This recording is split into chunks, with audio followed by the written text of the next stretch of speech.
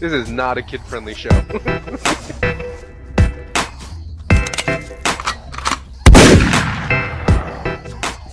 Yo, what's really good, my dudes? Today is October 3rd, 2016. We got a new RuneScape update for y'all.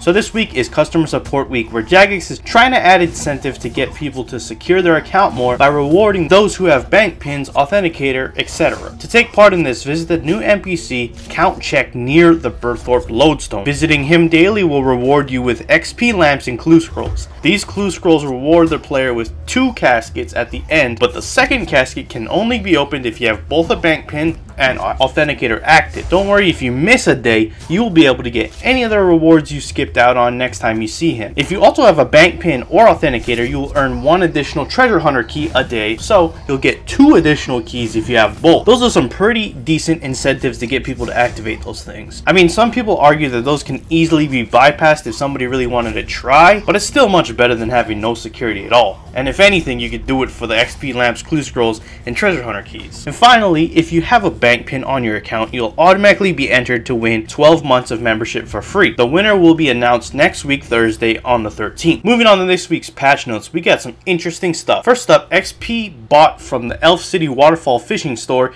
will auto-redeem on purchase and up to 1,000 lamps can be bought in one go. Soul Capes from the hard mode nomad fight can now be added to the cape rack in your player owned house. You can change the type of your family crest gauntlets on the fly with a right click option, however the 25k convert price is still there. Adding a tool gizmo to an unused Rod-o-matic converts it to the used version with the newly added perks. I'm not sure the reason for this as I haven't done Fishvention in months, but maybe it has some use to you. And there's also now a manual convert option to object currencies like Tokkul. There were also several combat combat fixes today. Apparently, they've corrected the anti-safe spot mechanics that weren't working as intended and were punishing regular players. Hopefully, it's an end to all that bullshit, but I'll still say you want to be cautious if you currently are on a Telos streak, just to be safe. Who knows what may happen right now. The combat requirement for completing smoking kills has now been made a recommendation instead. Current and highest enrages are now displayed in the Beast tab to bosses where it applies, and current kill streaks and enrages